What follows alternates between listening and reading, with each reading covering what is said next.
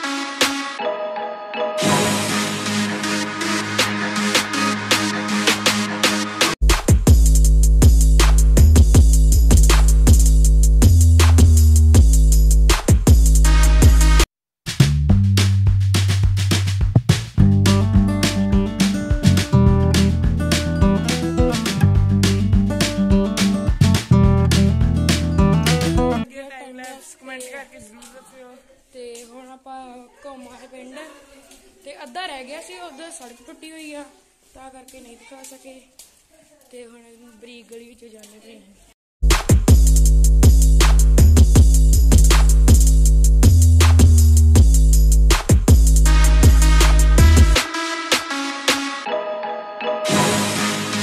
ਦੇਖੀਏ time lap ਤੇ ਹੁਣ ਅਸੀਂ ਜਾਂਦੇ ਆ ਆਪਣੇ ਗਰਾਊਂਡ ਵੱਲ। ਤੇ ਉੱਥੇ ਵਾਲੀਬਾਲ ਦੀ ਗਰਾਊਂਡ ਆ, ਕ੍ਰਿਕਟ। ਤੇ ਜਿਮ ਆ ਤੇ ਪੰਗੂੜੇ ਪਹਾੜੇ ਲੱਗੇ ਆ। ਤੁਹਾਨੂੰ ਉਹ ਦਿਖਾ ਕੇ ਹੁੰਨੇ ਅਸੀਂ ਅਸੀਂ ਪਹੁੰਚ ਚੁੱਕੇ ਹਾਂ ਗਰਾਊਂਡ ਤੇ ਹੁਣ ਦੁਪਹਿਰ ਦਾ ਸਮਾਂ ਵਾ ਤੇ 2:46 ਹੋਏ ਆ ਤੇ ਕੋਈ ਖੇਡਦਾ ਨਹੀਂ ਪਿਆ। ਸਕੂਲ ਇੱਥੇ ਖੁੱਲਾ ਹੋਇਆ ਵਾ। ਕਿਸੇ ਦਿਨ ਤੁਹਾਨੂੰ ਸ਼ਾਮ ਨੂੰ ਦਿਖਾਵਾਂਗੇ। ਕਿਸੇ ਦਿਨ ਸ਼ਾਮ ਨੂੰ ਦਿਖਾਵਾਂਗੇ। ਬਹੁਤ ਮੜੀ ਹੁੰਦੀ ਇੱਥੇ। ਤੇ ਆ ਦੇਖਿਆ ਤੁਸੀਂ ਵਾਲੀਬਾਲ ਦਾ ਨੈਟ ਬਾਹਰ ਵੀ ਨੈਟ ਲੱਗਾ ਆ। ਤੇ ਕ੍ਰਿਕਟ ਦੀ ਗਰਾਊਂਡ ਵੀ ਦਿਖਾਉਂਦੇ ਆ ਤੁਹਾਨੂੰ। ਆ ਹਾਈ ਸਕੂਲ ਵੱਡਾ।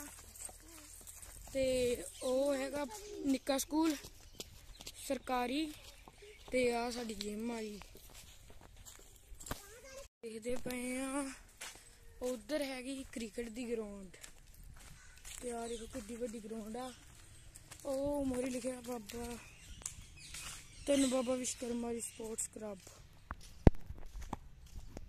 ਤੇ ਆ ਦੇਖੋ ਸਰਕਾਰੀ ਸਕੂਲ ਤੇ ਆਪਣੀ ਜਿਮ ਤੇ ਆ ਇੱਥੇ ਬਾਬਾ ਵਿਸ਼ਕਰਮਾ ਜੀ ਦਾ ਗੁਰਦੁਆਰਾ।